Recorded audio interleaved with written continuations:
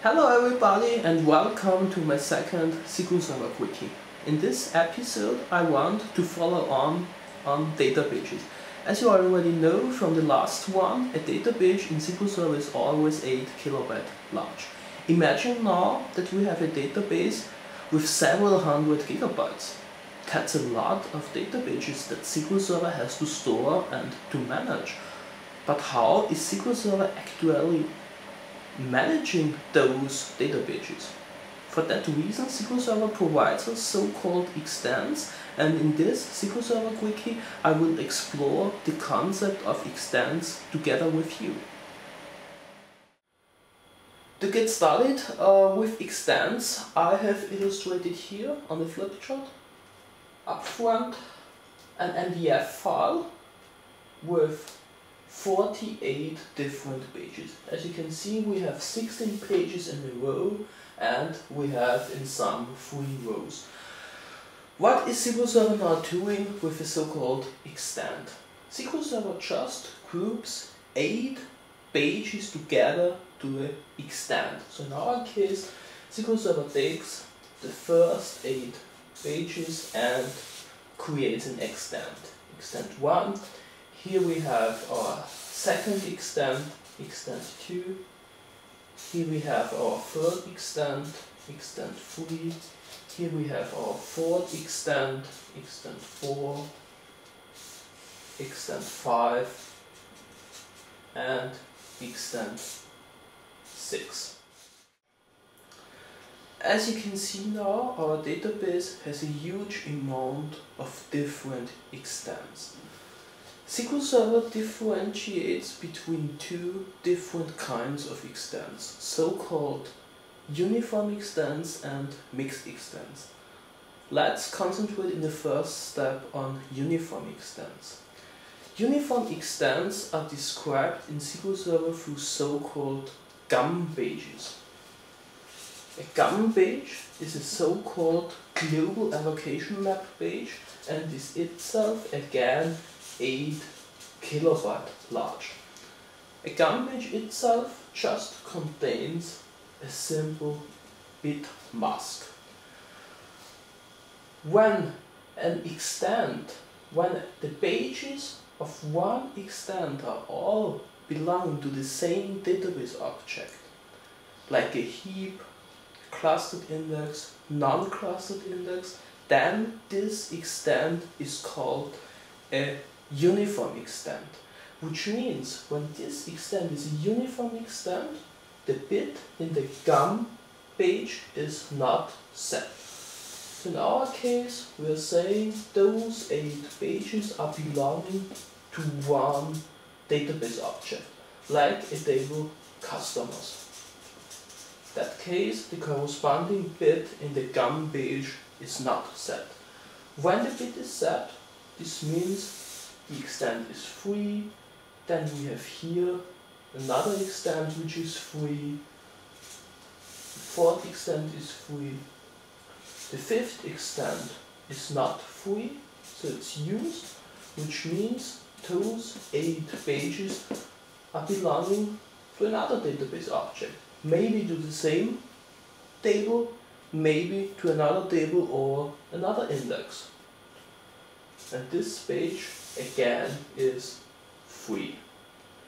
As I've said, a GAM page itself is again 8 kilobyte large and from those 8 kilobytes SQL Server gives us 8000 bytes which means we have here 8000 bytes each byte has 8 bits which means we have 64,000 bits on that GAM page available okay?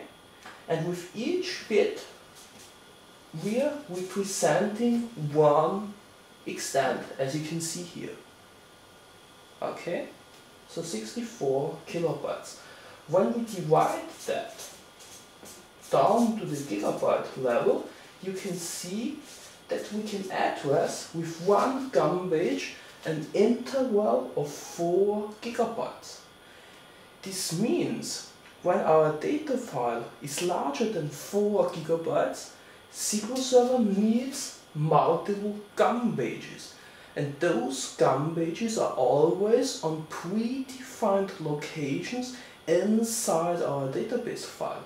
So the first GAM page is always the third page and then the GAM page comes regularly after 511,230 pages.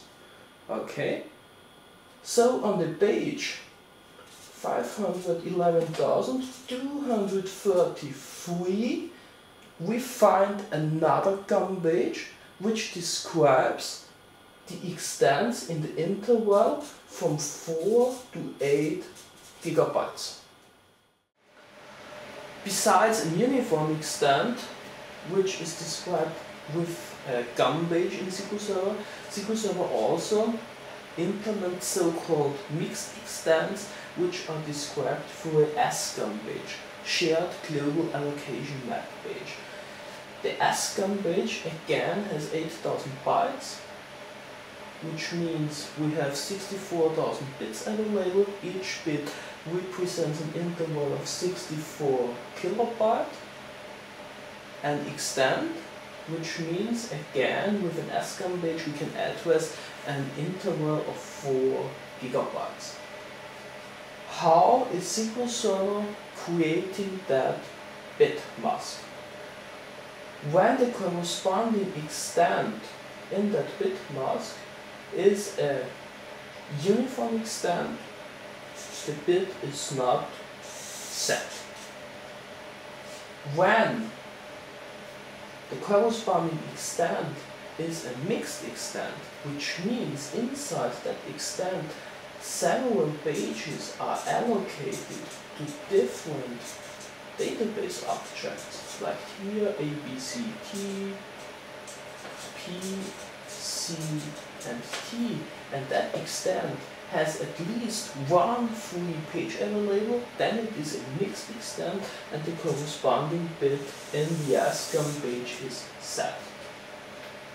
When all eight pages are allocated to one, uh, when all eight pages are allocated to different objects and that mixed extent has no free page available, then the corresponding bit in the SGAM page is also not set as you can see here. So again, when we have here allocated to some objects our pages and one and we have at least one full page, page available, then the corresponding bit in the SGAM page is set. The fifth extent is a uniform extent, which means the corresponding bit is not set. And finally, imagine we have here one page allocated, we have seven pages free, which means the bit in the SGAM page again is set. Why is SQL making that differentiation between a GAM and SGAM page? In the subsequent uh, SQL Server Quickie, we will talk how SQL Server actually allocates pages for new database objects and by now you only have to know that the first eight pages, so page 1 to page 8, for a specific database object is always allocated from a mixed extent. And for that reason SQL Server needs the SGAM page, because SQL Server has to find a mixed extent which has at least one free page available.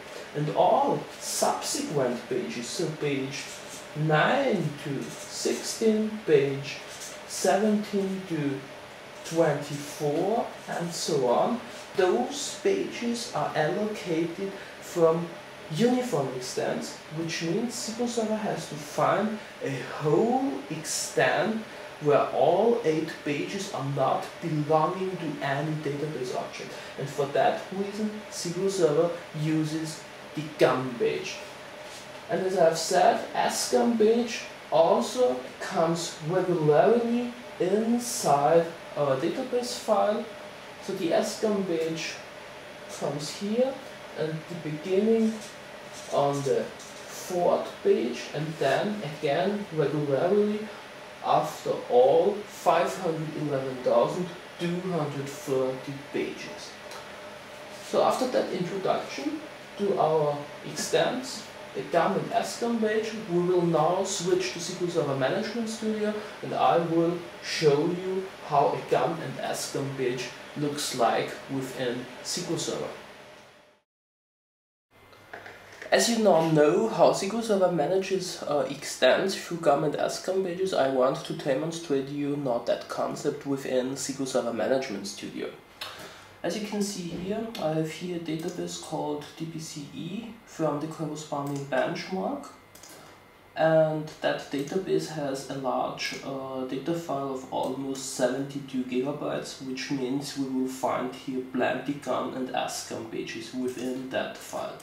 So again, I'm enabling the trace flag 3604 so that we can dump out pages. And in the first step, I'm dumping out my first page. The only thing uh, that you must uh, be aware of the dbcc page command is that the page ID is zero based. So as I have said earlier on the flip chart, GAM page is always the third page, which means we have here to supply uh, the page ID 2 because the dbcc page expects the page ID 0 based. So I'm dumping out my GAM page. As you can see here we have our page header, 96 bytes, as I've already told you in the last SQL Server Quickie. And here we have finally uh, the extent allocation bitmap masks that I have mentioned earlier on the flip chart. So you can see the extent or the pages 0 to 616 are allocated, the pages 624 to 631 are not allocated. So in that case we have a whole uniform extent which is currently not allocated. And then the pages 632 to 792 are allocated, pages 800 to 807 are not allocated, and so on. So as you can see here, we have here a lot of bitmaps. Next page is the SGAM page, which is always the fourth page at the beginning of our data file. So again, we have our page header, 96 bytes, and then again we have the extent allocation bitmap mask of the SGAM page. So in that case, pages 0 to 408 are not allocated, pages 416 to 432 are allocated, pages 440 to 447 uh, are not allocated. Then after 511,230 pages, you find the second GAM page. So again, I can dump out that second GAM page. As you can see here, the same bitmap mask, just with different page numbers and the same with the SGAM page. Okay. So as you can see here, it's very very easy uh, to dump out and analyze those GAM and SGAM pages through the dbcc page command. In this SQL Server Quickie we have talked about extent management in SQL Server through GAM and SGAM pages. Some of you might now asking why the heck you have to know about those special pages inside SQL Server. The answer is very easy. SQL Server can get into serious performance problems with the GAM and SGAM page. Imagine you have a high concurrent workload which creates a huge amount of tables. For example, temp tables inside tempdb. In that case, SQL Server always has to access those SGAM and GAM pages and that can lead to a performance problem called page latch contention. And I will show you in a subsequent SQL Server Quickie how you can overcome that performance problem within SQL Server. So stay tuned and I'm looking forward to our third SQL Server Quickie.